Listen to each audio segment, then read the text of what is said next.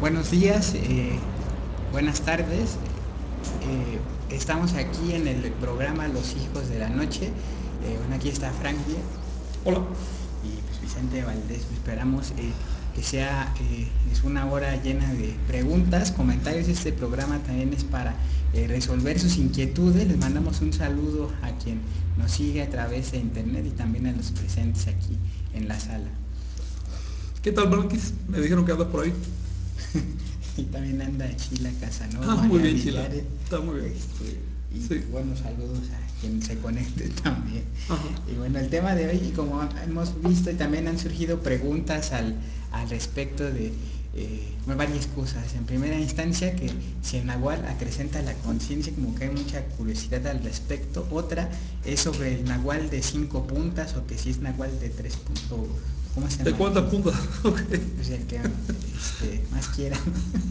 y también eh, sobre las implicaciones que, es el, que es el nahual, que es el nahualismo y que es el nahualista. También esas son, han sido palabras en cuanto al término que han surgido durante, esta, durante estos días, ¿no? en esta semana. Entonces igual si vamos por, por partes, ¿qué sería lo que correspondiente a, a este acrecentamiento de la conciencia. Bueno, hay que tener en cuenta que, hola, ¿qué tal? Hay que tener en cuenta que el, Nahual es una palabra, solo una palabra. Luego, la palabra en sí no te acrecienta la conciencia. Es más, si la usas mucho y de manera este, subconsciente, puede constituir un elemento de idolatría y entonces eso disminuye la conciencia. Luego, la palabra es lo de menos, lo importante es lo que uno haga. Los antiguos mexicanos le llamaban Nahual a un conjunto de prácticas y al resultado de esas prácticas. Eh, a eso le llamaban el Nahual. Pero bueno, podemos llamarle de cualquier otra manera o no ponerle nombre. Lo importante son las prácticas y sus resultados. Eh, ahora bien, ¿qué tiene que ver Nahual con la conciencia? Nahual es otro nombre de la conciencia, pero de la conciencia en proceso de acrecentamiento.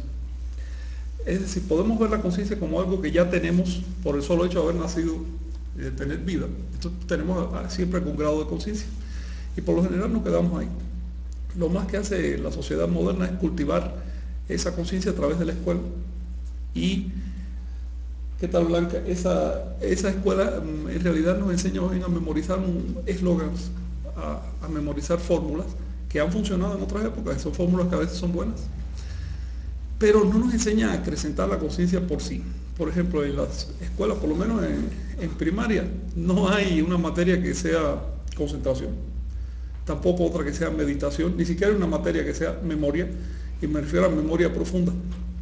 Eh, no hay una materia que sea serenidad o que sea análisis eh, intuitivo. Eso no se da en las escuelas. En las escuelas más bien te enseñan a usar una parte del cerebro para memorizar fórmulas. Y esto por supuesto le viene bien a la conciencia porque finalmente si, si, lo tuviéramos que empezar todos de cero, estaríamos todavía viviendo en los árboles eh, está bien aprender de la experiencia ajena y del conocimiento acumulado por las generaciones, pero está todavía mejor acumular ese, eh, aumentar ese conocimiento. El crecimiento de la conciencia es el crecimiento de la percepción. Y a, esa, a ese enfoque de la conciencia como algo que pueda aumentar en uno mismo siempre, siempre es a partir de uno mismo. Los antiguos le llamaron el Nahual. Sí, también, eh, esto, es interesante, la palabra Nahual pues, también ha tenido distintas eh, eh, significaciones en diferentes contextos. Eh, tanto el Nahual representa una palabra para este, la gente que habita en México, en esta zona, y también pues, se ha creado otra imagen en el extranjero, ¿no? en torno también a este mismo, a este mismo concepto. ¿no? También debido a la, a la influencia la información que cada uno de los públicos ha adquirido a lo largo del tiempo. Entonces, eh, como hemos visto en las fuentes históricas durante el siglo XVI, XVII, XVIII, se habló de, los, nahuales y del nahualismo, inclusive la orden este, eh, Intlatol, que también lo hacemos en esta referencia, y eso ha cambiado mucho el contexto. Eh, en esa época, se hacía alusión a esta integración de, esta red de, nahuales que representaba un movimiento de resistencia cultural que se diluyó con el paso del tiempo y que ahora pues, ha sido eh, pues, realmente olvidado, esa historia no se conoce tristemente y en lo que se cae debido a la información este, que, actualmente disponemos, pues es a esa eh, transformación mágica de los viejitos que, este, que tienen poderes y demás, lo cual pues, es meramente pues, folclore, ¿no? ya que eh, pues, una de las primeras eh, eh, instancias que, implica este proceso pues, es también en primera forma pues, el mantener esa ecuanimidad, esa prudencia y no ostentarse, ya que pues, imagínense ¿no? qué trabajo haría una persona que este, se ostenta, y pues no, es, es una manifestación del, ego, ¿no? Entonces, hemos visto el, eh, eh, el, desarrollo de este concepto, el nahualismo, también lo que ha implicado. Nahualista, pues bueno, son clasificaciones que tiene el, español, ¿no? Para este, así dividirnos, seccionarnos. Eso yo creo que también nos habla de este aspecto de la lengua. ¿no? El náhuatl es una lengua que, aglutina, que integra este, por la misma composición. Entonces, eh, es una visión eh, integral y lo que busca este náhuatl también es expandir esa, esa perspectiva, unificar experiencias eh, y pues, aplicarlas para un mejor desempeño en la vida, en todos los aspectos. Sí, sí este, es importante tener eso en cuenta que las palabras como nahual, nahualismo, nahualista son del español. Es claro que tienen equivalente en las lenguas del México antiguo, pero incluso en ese caso no es necesario este, asignarle las palabras más importancia a la que tienen. Eh, el hecho que te definas como, no sé, como cristiano no quiere decir que seas un Cristo, hay una gran diferencia. El hecho de que seas nahualista no quiere decir que seas nahual, y mucho menos que estés este, eh, activamente comprometido con el acrecentamiento de la percepción. Eh, fíjense que ah, ya sabes que las religiones tienen un, gran peso ah, eh, sugestivo. Las religiones de hecho son, y no estoy tratando de criticar, ¿sí? de escribir un hecho, son conjuntos de, doctrinas y de fórmulas, y encantamientos, pronunciaciones, gesticulaciones incluso, como todos esos, cómo es que hacen los católicos, se hace, bueno, todo ese tipo de cosas. Y sobre todo la forma como están elaboradas las doctrinas, está hecho para sugestionar de modo que tienen un gran peso sobre nosotros. Y eso es, eh, eso es hasta cierto punto un logro tremendo de la cultura, porque al sugestionar a este animal de base que somos, nos condicionan para seguir ciertas actitudes espirituales, es decir, ciertas actitudes más refinadas, en lugar de únicamente buscar intereses animales. Ahora, al sugestionarnos también las religiones nos hacen, nublan un poquito la, la pantalla de la percepción, nos hacen olvidar que el gran hecho de nuestra existencia es percibir no creer, sino percibir. Y que eso, más allá de lo que podamos creer del mundo, sigue siendo una realidad en todos los seres. Y es una realidad, y es la única además, que hermana a todos los seres vivos. Animales, vegetales, extraterrestres, cualquier cosa que haya, si está vivo, percibe. Y esa es la verdadera eh, eh, capacidad que nos hermana. Entonces, a, a medida que nos vamos hacia atrás en la historia, las religiones tienen menos peso. Por supuesto, son más jóvenes, a veces más inexpertas, más llenas de contradicciones. Llegamos a un punto hace muchos miles de años en que de hecho no había religiones en el sentido moderno de la palabra, sino personas que estaban tratando de entender lo que hay ahí, la naturaleza. Y esas personas tenían hasta cierto punto más capacidad que nosotros, estaban menos sugestionados, estaban más limpios y podían percibir ese gran hecho de nuestro ser, que es percibir. Entonces, eh, esas personas, por supuesto, empezaron a acumular eh, fórmulas, técnicas, ¿eh? ejercicios para acrecentar la percepción, porque es divertido. Te pongo un ejemplo de lo que significa acrecentar la percepción.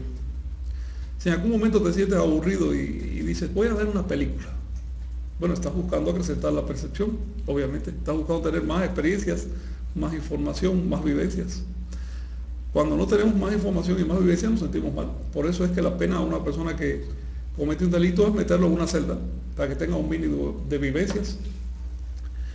Eh, de hecho, ah, más allá de, la comida y, el agua, eh, tenemos otra gran fuente de alimentación que es una necesidad vital, que son las impresiones.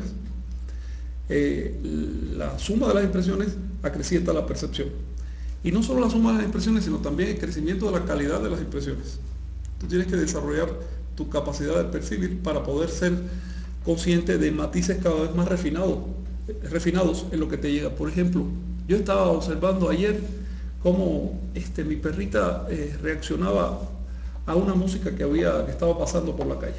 Había un camión que tenía una música. Yo estaba escuchando una música y hasta estaba a punto ya de recordar, a ver, esta composición es de fulano de tal.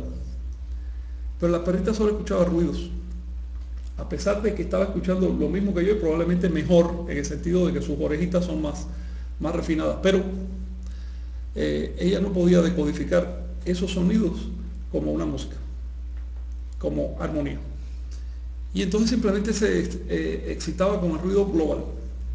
Y me quedé pensando que, eh, de hecho, ni siquiera distingue muy bien las palabras cuando nosotros hablamos.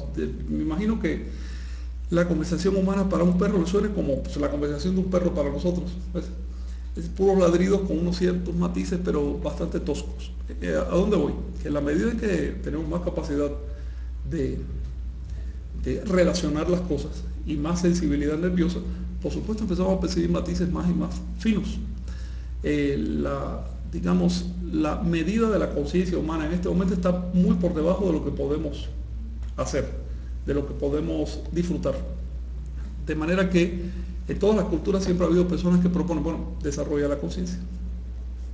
Y también al, respecto, ¿qué técnicas hay? ¿Qué, ¿Cómo se puede hacer? Eh, eh, hay, hay, distintas, la primordial, la, la, que es básica, es el, el desarrollo del ensueño y también la recapitulación, pero también hay ejercicios que nos pueden ayudar a activar, eh, a expandir esta percepción desde el mismo hecho de concentrarse y visualizar algún punto, hacer, hacer juegos, este, eh, también de, en cuanto a experimentación.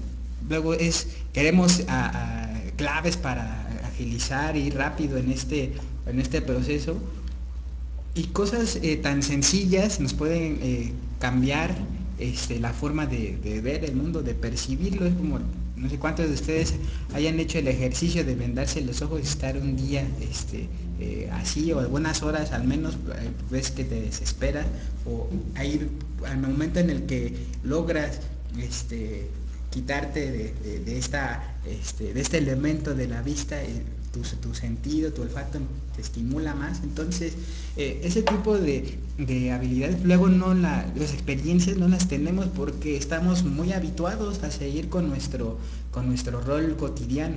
Y eso implica que, ¿y por qué se hace así? Primordialmente pues, es, porque tendemos este, a ser flojos, a ser este, comodines, por así decirlo. y la práctica implica implica constancia, persistencia y no es algo que se dé eh, en un, eh, decir, un abrir y cerrar de ojos. Puede llegar a darse, pero eh, esto, o sea, hay que ser, hay que tener este, presente que, es, que, es, un proceso constante, ¿no? Que no es nada más de, ah, sí, porque me nació, este, es bueno, pero hay que, hay que preservarlo y hay que...